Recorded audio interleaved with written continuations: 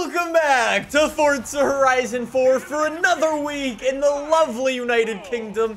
Except it isn't. Unfortunately, there's no new car in Forza Horizon 4 this week, but regardless, here's the Forzathon shop and the Horizon backstage. Shout out the Shelby GT500. You should definitely pick that up. Super good car, not biased at all. Anyways, though, today I wanted to try out something a little bit different because as we've been getting more and more Forza Horizon 5 rumors over the last little while, and we already know that Forza Motorsport is on the horizon, today I wanted to take a look back to Forza Horizon 4 and talk about some of the things that I would like to see improved, essentially how Forza Horizon 4 could have been better. I want to know if you could change one thing for Forza Horizon 4, what would it be? Would it be adding a very specific car, maybe a new element to the map, or maybe just a gameplay feature all around?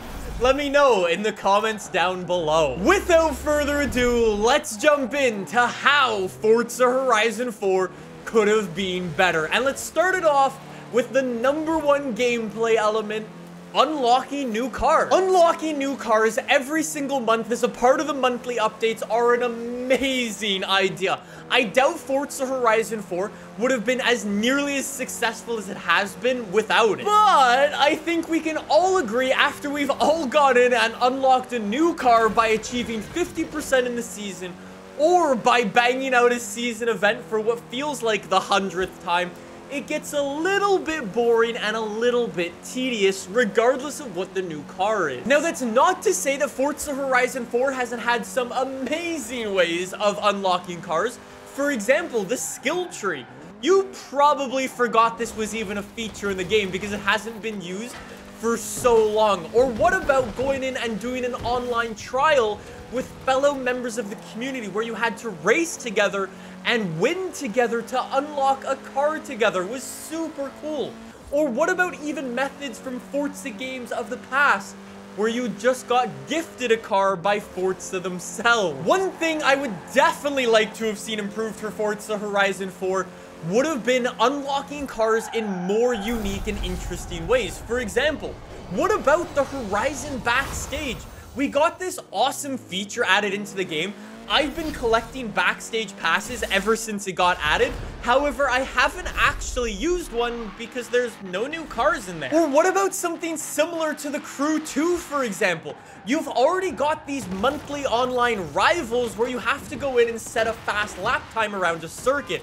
Say, for example, one month Forza Horizon 4 had a car where they wanted to be for pretty much everybody. Say the fastest 90% of people who go onto that monthly rival time and set a time will unlock the car. Say one month they wanted to be a little bit more rare the car, you only give it to the top 50% of fastest people. Or say you have one month and you want a super, super rare car, you give it to the top 10% of fast player. Not only would you encourage players to come back to the game every single month to set a lap time and unlock a new car, but you're also encouraging players to just be genuinely better at the game. And I think for a game like Forza Horizon, that, that's not a bad thing. And that actually leads perfectly into my next point, which is the Eliminator. As you've probably been able to tell, I absolutely love the Eliminator, but I think we can all agree again, we would love to see it expanded upon a little bit further.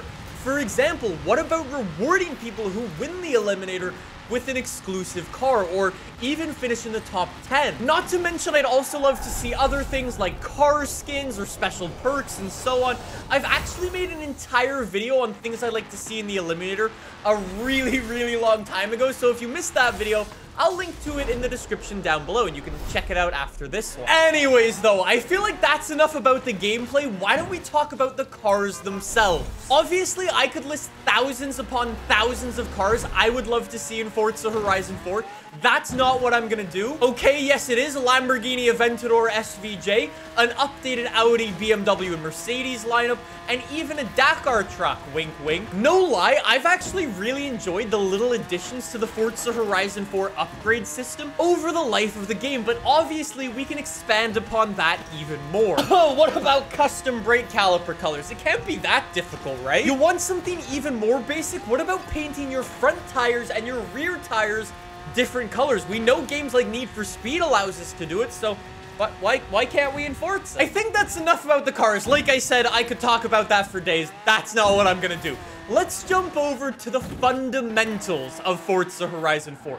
What makes Forza Horizon 4 Forza Horizon 4. Again, I feel like it's something we can all agree on when I say seasons plays a huge part of this game. Every other aspect actually revolves around seasons, and it makes a lot of sense. Driving in every single season is super fun. However, I feel like when I want to play in the summer, I should be able to play in the summer. It's almost like it artificially limits what we're able to do in the game as well. For example, you might have seen this video where we played hide and seek on the frozen lake in Forza Horizon 4. I actually had this video on my calendar for months, but I wasn't able to film it until recently because when it was winter in the game, I was either busy doing something else or just out and I, I wasn't able to film this video on another week because it wasn't the winter and it limited when we were able to play this game and it actually delayed us by like two months. The same can be said if you like taking photos. Say you want to go and take some photos with your friends online and you want to do it in a winter snowstorm and it's the middle of summer, well, you've got to come back to the game in, in two weeks. Even though you and your friend are both online ready to go, you, you, have got to wait two weeks to do it. I'm not really sure how Forza would implement us being able to choose our season, time of day, our weather, or even if traffic was on or off. All I know is that being limited by the game is super annoying. I also briefly wanted to talk about Forza Horizon 4's story because as you might have seen, I recently jumped into the game on Steam since it dropped